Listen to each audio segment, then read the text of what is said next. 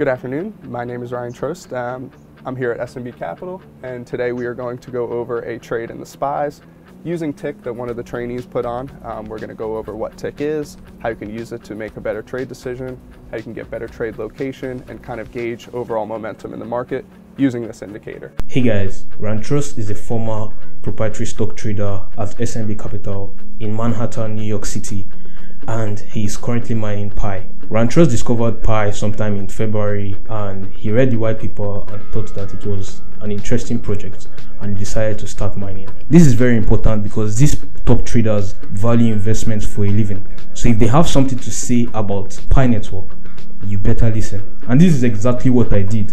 In fact, I used Ryan Trost's invitation link to join the Pi Network.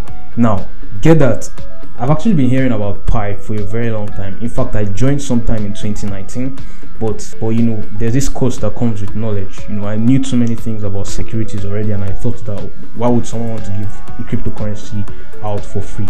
So I just wrote it off as an unserious project.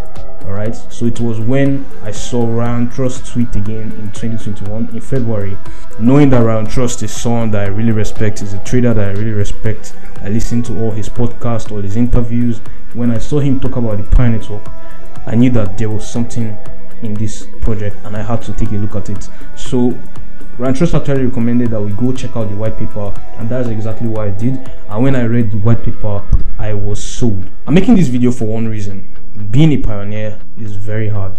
Not only do you have to remember to tap the mine button every single day, you also have to deal with trolls, people that are insulting you for believing in a project that hasn't launched yet. So in case you've had any doubt about the rationality of clicking a button to mine Pi every single day, or you even have in your heart some kind of hope that Pi is going to succeed, what I'll say is first of all, read the white paper.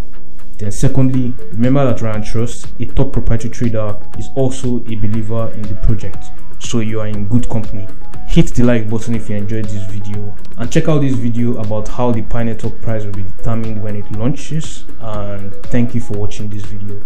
I'll see you in the next one.